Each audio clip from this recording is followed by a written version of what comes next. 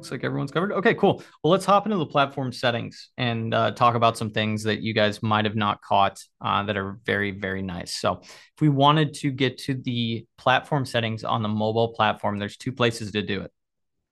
First, in the dashboard tab, there's, and again, this is for iOS right now, you can go to the app settings, tap on app settings here, and then you will be automatically taken to the platform settings.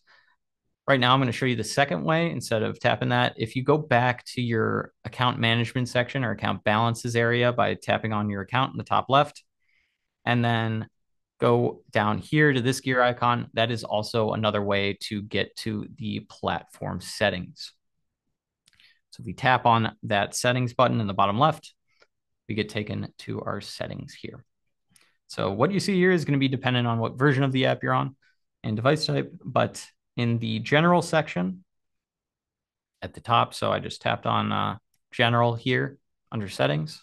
So general, you can set up your logout timer when how, you know, if you want the platform to auto log you out after a certain period. You can also turn on and off Face ID or um, finger scans.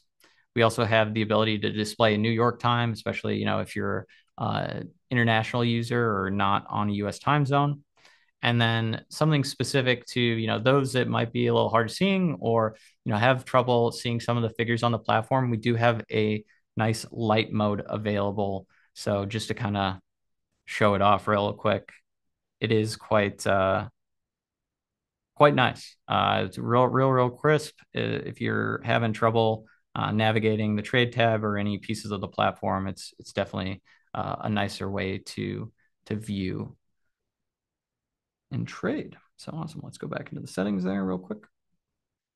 So that's our light mode. I'm just going to switch it back for now. Go back to dark, just tapping on these two there to switch between light and dark.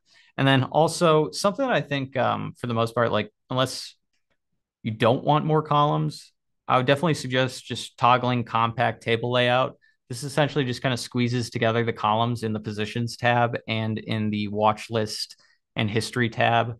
So if you're in landscape mode or in portrait, you know, you're going to get just a little more space for additional data columns. Otherwise, uh, you might see a few less columns on the platform and have to scroll between the pages. So those are kind of the major settings there under general. Also under accounts here, this is where you can actually see, and uh, the question came up earlier as well as like, hey, uh, how do I close an account?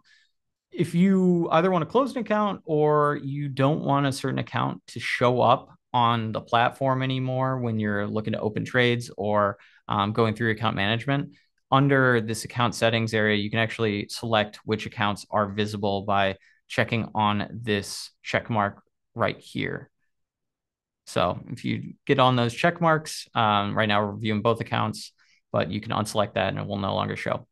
It's also talking about privacy mode. The three dots, or you see now, our account numbers are dotted out, the account name and numbers dotted out. If you want to turn on privacy mode, you can toggle that there. And then lastly, there's also also ETF equivalent deltas. So we have some resources in our help center you can check out uh, to learn more on ETF equivalent delta, but that's how you can turn it on. And then going through the rest of the settings here, just a couple of things the trade section, this is where you can mess around with the different overlays. So, uh, Donald, you're asking, hey, how do I show the expected move strip in the table mode view? You either can click on the settings gear icon within the table view or within our trade settings here as well under price range overlay. That's where you go price range overlay and then make sure that's set to expected move. Uh, you might have none selected right now, which means it's just blank, or there's also a daily high low marker too. But personally, I just like the expected move and I think it gives the, the most valuable information. So that's how you can add in the expected move to your trade table in the settings. Lastly, uh, we just have some other settings about showing uh, positions that you have open or showing working orders on the trade tab. So you saw those little buttons on the trade table that showed our working order or if we had an open position. So you could toggle those on and off to display or not based on your desired settings. Uh, and then in trade defaults here, there's just some general stuff about, hey, you know, um, I want to set up orders based on a default time and force or order type.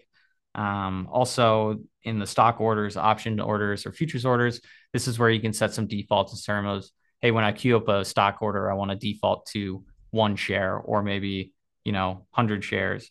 And in this case, I actually have my increment at uh, one, two. Maybe I want to up it to 15. So every time I click the arrow, it increases by 15 shares. So based on your sizing, you can kind of mess around with the default order quantities, but I generally just set them all to one.